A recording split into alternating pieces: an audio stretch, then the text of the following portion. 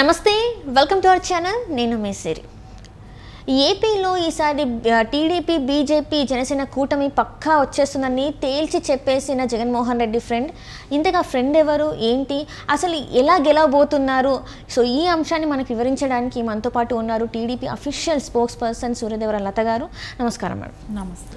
మనం ఇప్పుడు చూస్తుంటే ఏపీలో ఎన్నికలు మనకి చూస్తున్నాం. ఇంకో వన్ మంత్ అలా ఉంది. అయితే ఇక్కడ ఏంటంటే ఒక మాజీ ఎమ్మెల్యే ఏంటంటే తను చేసిన వ్యాఖ్యలు ఏంటంటే ఈసారి ఖచ్చితంగా కూటమి గెలిచే అవకాశం ఉంది అని చెప్పేసి అయితే చెప్తున్నారు. సో దీన్ని అసలు మనం ఎలా చూడాలి? నిజంగా మరి అక్కడ కూటమి గెలిచే అవకాశం ఉందా? లేకపోతే వైసీపీ గెలిచే అవకాశం ఉందా? ప్రజలు అసలు ఏ వైపు మొగ్గు చూపే అవకాశం ఉందంటారు? ఆయన గోనె ప్రకాష్ గారు కాంగ్రెస్ మాజీ ఎమ్మెల్యేగా ఉండేవాళ్ళు. అవును.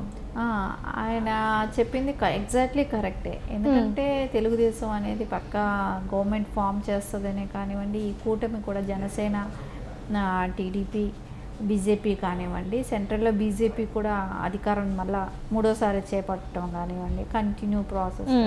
సో ఇది ఖచ్చితంగా అయినా సక్సెస్ ఖచ్చితంగా ఇది గెలుస్తుంది అనేది అయితే అందరికీ అనిపిస్తుంది కూడా. సో ఎందుకంటే వాళ్ళకి పార్టీలకి అంటే పార్టీలు పార్టీకి ఈ పార్టీ గురించి మాట్లాడాల్సిన అవసరం లేదు ఆయన వేరే పార్టీ వాళ్ళ మాజీ కాబట్టి సో అయినా కూడా అలాంటి వాళ్ళు కూడా ఈ పార్టీలో ఈ తెలుగుదేశమే కానివ్వండి జనసేనే కానివ్వండి బీజేపీ కూటమి కంపల్సరీ వస్తుంది భారీ మెజార్టీ వస్తుంది ఇవన్నీ కూడా చెప్తుంటే ఖచ్చితంగా ఎందుకంటే బై గ్రౌండ్ లెవెల్ నుంచి కూడా అందరి ఆలోచన ఇలాగే ఉంది.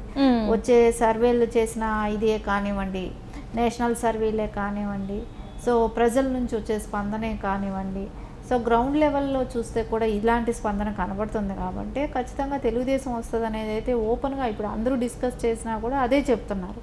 తెలుగుదేశం కంపల్సరీ అధికారంలోకి వస్తుంది అనే మాట ప్రతి వాళ్ళ నోట్లోనూ పార్టీలకు అతీతంగా కూడా అదే మాట్లాడటం జరుగుతూ ఉంది.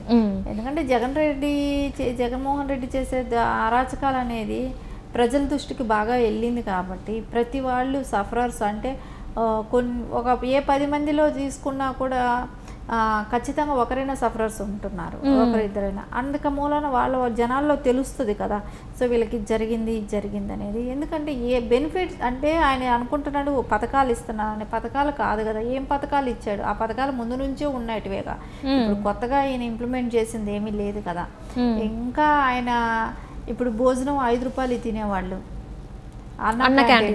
అన్న క్యాంటీన్లో ఐదు రూపాయలకి భోజనం చేసేవాళ్ళు. ఇప్పుడు అలాంటిది ఉందా?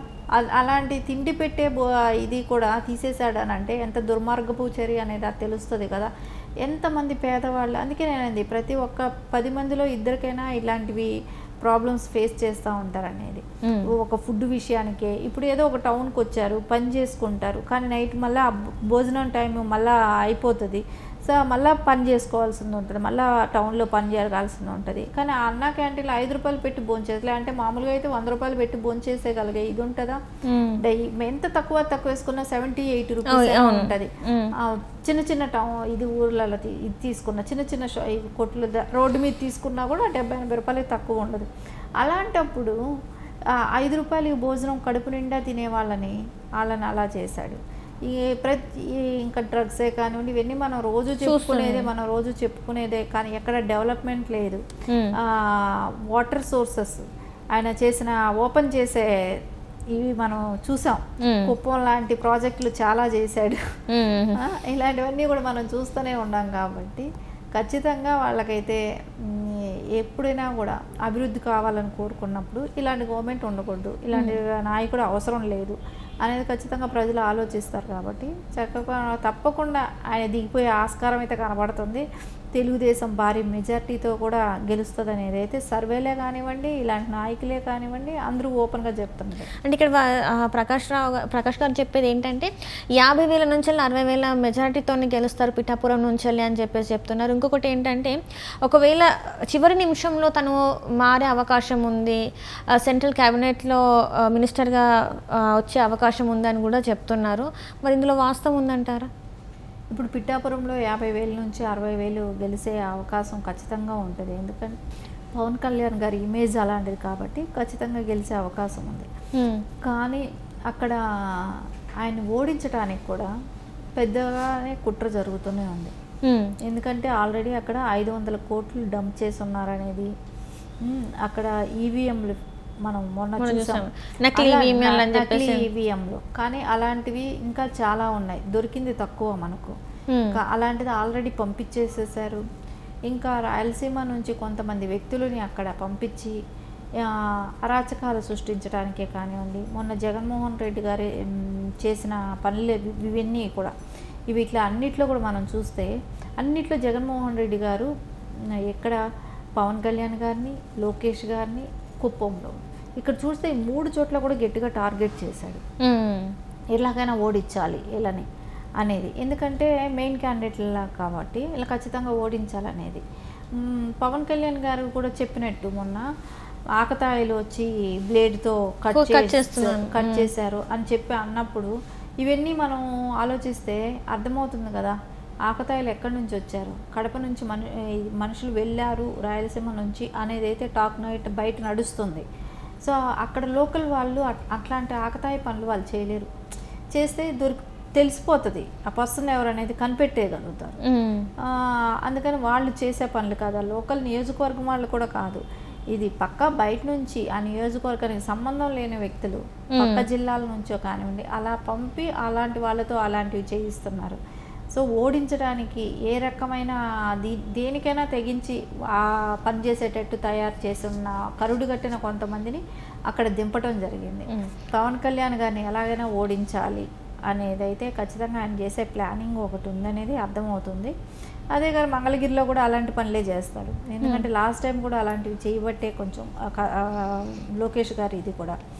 ఖచ్చితంగా పవన్ కళ్యాణ్ గారు అయితే యాభై టు యాభై నుంచి అరవై వేల వరకు కంపల్సరీ వస్తుంది ఎందుకు తెలుగుదేశం క్యాండిడేట్ అయిన వర్మ గారు లాంటి వాళ్ళే చెప్పారు లక్ష మెజార్టీతో మిమ్మల్ని గెలిపించుకుంటాం.